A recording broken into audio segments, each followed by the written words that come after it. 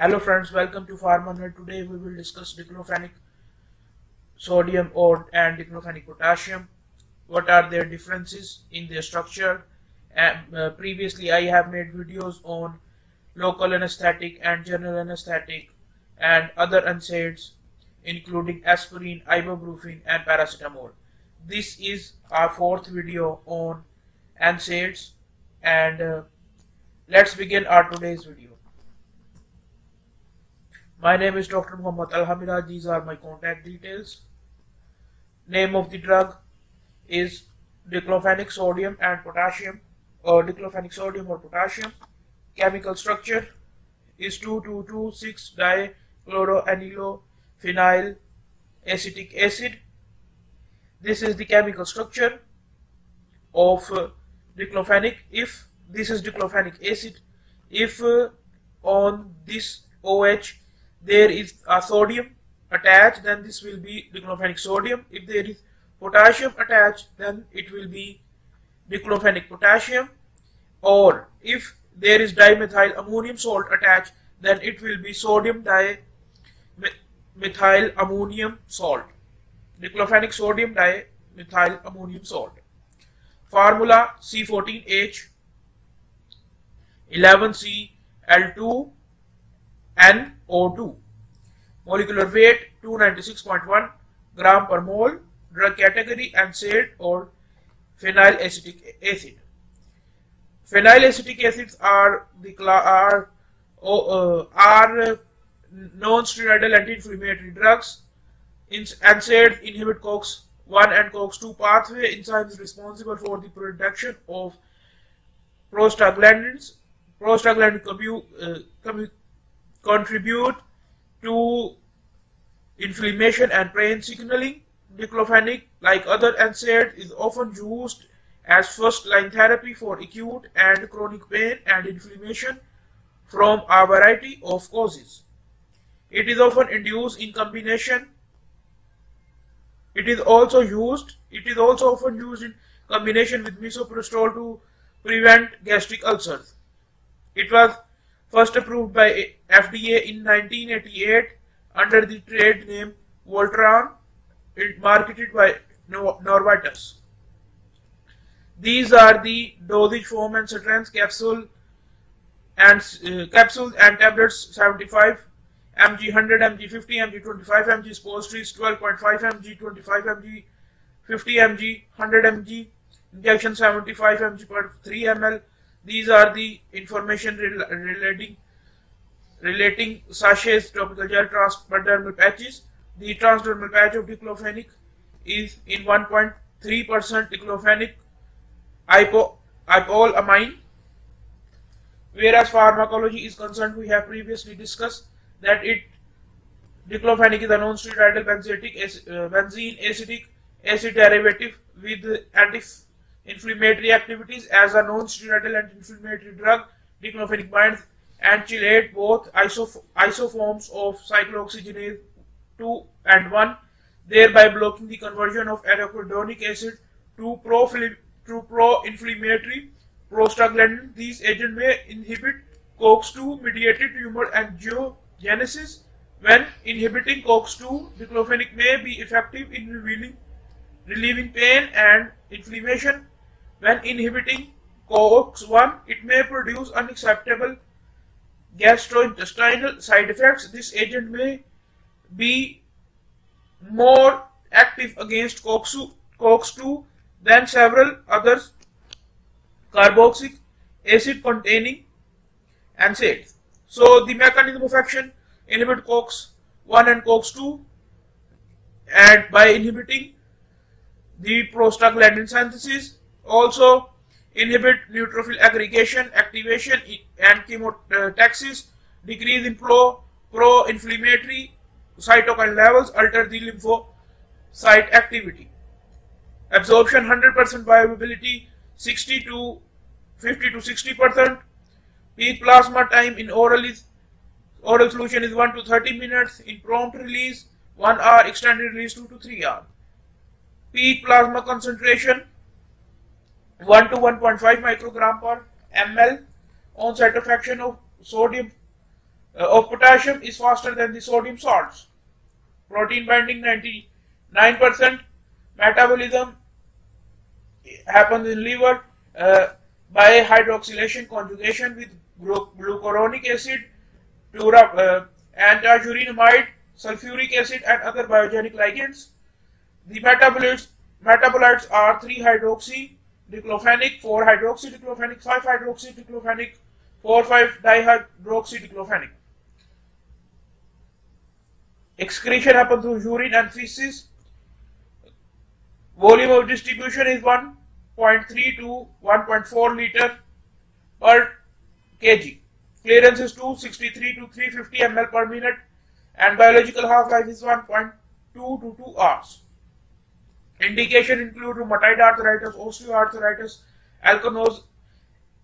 ankylosing, spondylitis, dysmenorrhea, dysmenorrhea, mild to moderate pain, acute migraine, juvenile idiopathic arthritis, actinic keratosis, acute pain, arthritis pain, cataract surgery, corneal refractive surgery. Uh, service level category include secondary and tertiary hospitals and this drug is also over the counter drug. So let's discuss about the dosage. In rheumatoid arthritis, the dose of sodium, sodium and potassium is same 50 mg per oral after every 12 to 8 hours. Uh, between every after every 12 to 8 hours, uh, whereas the 75 mg uh, diclofenac sodium is concerned, the dose will be after every 12 hours. In extended release, it may, it might be 100 mg daily or it may be increased to 100 mg after every 12 hours. In, uh, in ankylosing spondylitis, the dose of so diclofenac sodium is 25 mg per oral uh, uh, uh, 4 to 5 times daily, whereas diclofenac potassium 50 mg per oral after every 12 hours. Osteoarthritis, the dose is same as previously discussed in rheumatoid arthritis. Dysmenorrhea immediate release 100 mg per oral tablets once and 50 mg or then 50 mg tablets after every 8th hour depending upon the need. In acute pain, in acute pain to moderate pain, in mod mild to moderate pain, immediate release tablet 100 mg per oral once and 50 mg after every 8 hours 25 mg and 18 to or to 75 or 20 uh, 35 mg per oral 3 times a day. In acute migraine, once one sachet of diclofenac, diclofenac sodium might be used in and dissolved in 30 to 60 ml of water and mixed and drunk immediately. In acute pain, it can be 3.75 mg IV bolus injection infused over 15 seconds after every 6 hours as required per need and the total dose must not exceed 150 mg per day. In cataract surgery, one drop in effective affected eye four times daily for two weeks beginning with 24 hours post surgery. In corneal refractive refractive surgery, one to two drops in effective eye and one hour pre before operation and 15 minutes after operation and continue 1 to 2 drops 4 times daily for 3 days. In actinic keratosis, apply thin layer of gel to affected skin after every 12 hours for 60 to 90 days. Osteoarthritis, apply 2 gram gel on upper extremities and 4 gram gel on lower extremities and total dose should not be cross the value of 8 gram per day. In case of upper extremities and in case of lower um, extremities, the dose should not exceed 16 gram per day. Administration You use supply dosing card to determine the amount. In acute pain, you can also use one patch of, trans, uh, of transdermal drug containing of transdermal patch, uh, transdermal patches containing the drug diclofenac sodium after every 12 hours in the most painful areas. The diclofenac sodium cannot be used in parent in children's less than 14 years, but in certain cases it can be used and in certain dosage form it can be used. It can be used in juvenile idiopathic arthritis. The age of the child should be more than 3 years from 2 to 3 and the dose is 2 to 3 mg per kg per day for up to 4 weeks. But in case of acute pain, the transdermal patches can be used in the person having age more than 6 years and one patch of, of uh, transdermal medicine can be given after every 12 hours. So, you can, uh, the lowest dose, there should be the uh, target that we have to give lowest effective dose for the shortest duration of time in case to treat the child's. Suppositories can be used depending upon the weight, weight based formulas 12.5 mg, 25 mg, 50 mg, and 100 mg doses are available. 75 mg to 150 mg dose can be used in per lactal, per in divided dose.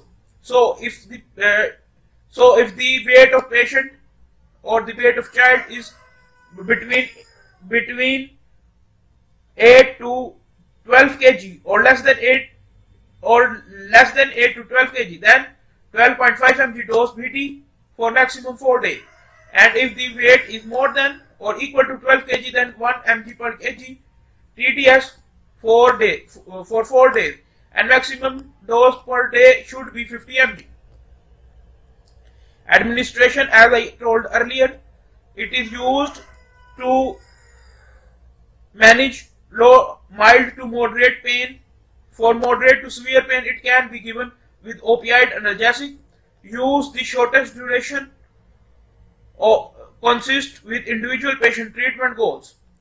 Reduce to reduce the risk of renal adverse reactions, patient must be well hydrated prior to IV administration. Take with food or 8 to 12 ounce of water to avoid IV, IG adverse effects. Take on empty stomach Food decrease area under curve by 12% and P concentration by 60%. Don't use liquid other than water to reconstitute food decrease effectiveness. Stability stable at room temperature, contraindication hypersensitivity to diclofenac sodium, gestational bleeding, and moderate to severe pain renal insufficiency in preoperative period and patient who are at risk of volumic volume depletion. Precautions using caution in patient with bronchospasm, cardiac disease, con congestive heart failure, hepatic porphyria, hypertension, fluid retention, and severe renal impairment.